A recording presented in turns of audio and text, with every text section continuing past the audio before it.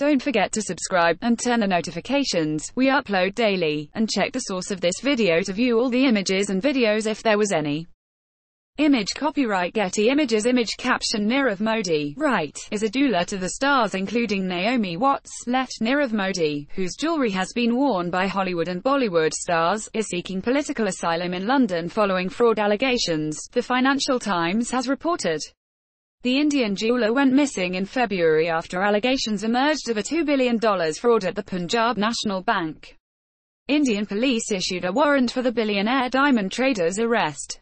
His firm's Indian stores were closed, and assets were seized including bank accounts and luxury cars. Over the past eight years Mr. Modi has established an international jewelry brand with stores in London, New York and Hong Kong, selling diamond-encrusted necklaces and earrings. Stars such as Kate Winslet, Rosie Huntington-Whiteley and Naomi Watts, have been seen wearing his products. Bollywood star Priyanka Chopra advertises the brand. The success made him one of India's richest people, with a personal wealth of $1.75 bn, according to Forbes. Earlier this year Punjab National Bank, PNB, India's second-largest state-run bank, alleged Mr. Modi and his uncle Mehul Choksi had defrauded it of around $2.